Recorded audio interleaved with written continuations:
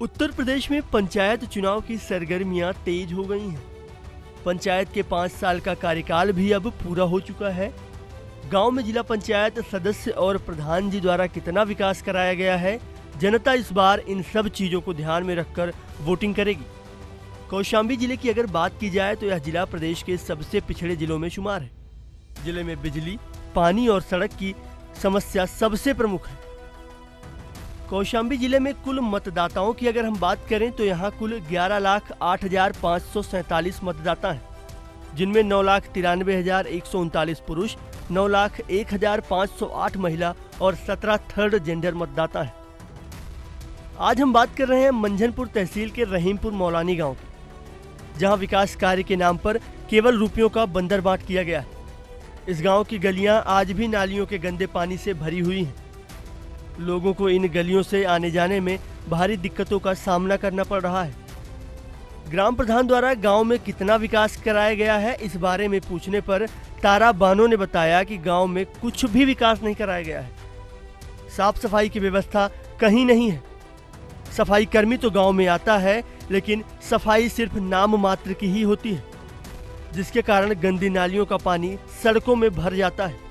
इसी रास्ते से निकलते हैं। हम लोगों को परेशानी होती है। बारिश में तो और भी ज़्यादा भर जाता है लेकिन यहाँ तीन साल से सफ़ाई हुई ही नहीं है।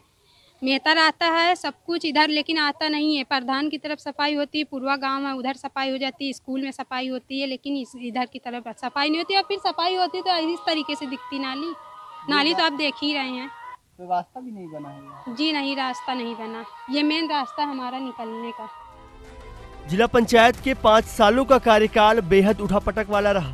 यहाँ सबसे ज़्यादा काम अवध रानी ने किया। उन्होंने सड़क, बिजली पर विशेष ध्यान दिया। देखिए, जिला पंचायत का कार्यकाल इस बार जो पाँच साल बीते काफ़ी उठापटक वाला रहा। जुलाई 2016 में हमारे यहाँ मधुवाचस्पति जिला पंचायत अध्यक्ष बनी थी। वो एक महीना, एक साल या सवा साल तक काम कर पाई, इसके बाद अविश्वास आ गया। सदस्यों ने अविश्वास लाया तो अनामिका सिंह जिला पंचायत अध्यक्ष बनी। वो भी तकरीबन सत्रह या अठारह महीने ही रह पाई। और उसके बाद उन्होंने यह कहते हुए अपने पद से इस्तीफा दे दिया कि अधिकारी उनका सहयोग नहीं कर रहे हैं, लिहाजा वो कोई विकास कार्य संपादित नहीं करा पा रहे हैं। उसके बाद फिर कार्यवाहक के रूप में डीएम रहे और लगातार डीएम के बाद सीडीओ सीडीओ के बाद फिर दूसरे डीएम आए वो यहाँ रहे। उसके बाद फिर क्या कहते अवध रानी जी हमारे यहाँ जिला पंचायत अध्यक्ष बनी और ये तीसरी थी।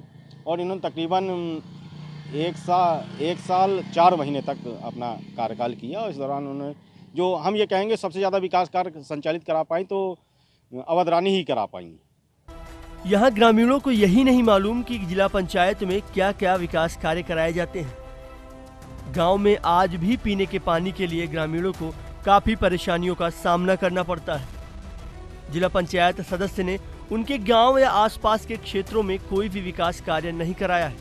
अभी तक ग्रामीणों को ये भी नहीं पता है जिला जिला पंचायत से सफ़ाई और हैंडपम्पों या पानी की व्यवस्था की जाती है, क्योंकि किसी भी सदस्य ने, किसी भी वार्ड के किसी भी मेंबर ने आज तक ये कार्य नहीं किए हैं गाँव में, जिसकी वजह से आज भी पानी के लिए किल्लतें हैं और साफ़ सफ़ाई में तो एकदम पीछे है। यहाँ सड़कें 20 साल पहले जिला पंचायत द्वारा बनवाई गई थी। लेकिन उसके बाद से आज तक इन सड़कों का मरम्मतीकरण न होने से सड़कों में बड़े बड़े गड्ढे हो गए हैं, जिसके कारण लोगों को आने जाने में भारी दिक्कतों का सामना करना पड़ता है। यहाँ तक कि लोगों को साइकिल से चलने में भी कई दुश्वारियों का सामना करना पड़ रहा है। इस बार जिला पंचायत देखा जाए तो पहले के मुकाबले काफ़ी ख़राब था इस पंचवर्षी में। बरोबर सड़कें भी नहीं बनाई गई, ना कुछ, ना कुछ ज़्यादा विकास हुआ नहीं इस बार जिला पंचायत में। गाँव साइड जो आसपास गाँव है या आसपास के इलाके में कितना विकास जिला पंचायत हमारे गाँव में तो ज़ीरो नथिंग कुछ हुआ ही नहीं जिला पंचायत सदस्यों के द्वारा। एकदम जो है पूर्व में बल्कि जो है पूर्व इससे पहले जो जिला पंचायत सदस्य उसने जो है आरसीसी वगैरह बनवाई थी लेकिन इस बार तो कुछ नहीं बने। पंचायत चुनाव को लेकर जिला पंचायती राज अधिकारी के मुताबिक परसीमन का काम ज़िले में पूरा कर लिया गया है। पिछली बार की तुलना में इस बार जिला पंचायत की तीन, क्षेत्र पंचायत की पंचानवे और ग्राम पंचायत की सैतालीस सीटें कम हुई हैं। क्योंकि ज़िले में मंझनपुर को नगर पालिका और तीन अन्य नगर पंचायतों का गठन किया गया है। इस बार 26 जिला पंचायत सदस्य, चार सौ इक्यावन ग्राम प्रधान और छह सौ चौवन क्षेत्र पंचायत सदस्यों के सीटों पर चुनाव कराया जाएगा। परसीमन में कुल ग्राम पंचायतें पहले 2015 में चार थी, जो अब अब चार सौ इक्यावन बच गई हैं। ग्राम पंचायत के वार्ड पहले चौंसठ सौ सतासी थे, अब पचपन सौ अंठावन सौ अंठावन हो गए हैं। जिला पंचायत के वार्ड पहले उनतीस थे, अब छब्बीस हो गए हैं। और क्षेत्र पंचायत के वार्ड पहले सात सौ छत्तीस थे, अब छः सौ चौवन हो गए नया परिसीमन जारी कर दिया गया नया प्रसिमन की सूची जारी कर दी गई है और अंतिम सूची और लोगों को प्रकाशन कर दी गई है लोग पढ़ भी रहे हैं और लोग जान भी रहे हैं।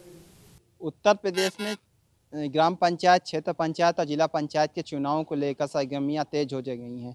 इस समय उम्मीदवारों के दिमाग में केवल आरक्षण को लेकर ही सवाल उठ रहा है जिसका वो जवाब जानना चाहते हैं कि आखिर किस सीट को किस वर्ग के लिए आरक्षित किया गया है? यह तो समय आने के बाद ही पता चल पाएगा, लेकिन अगर बात करें तो कौशाम्बी ज़िले का परिसीमन कर दिया गया है।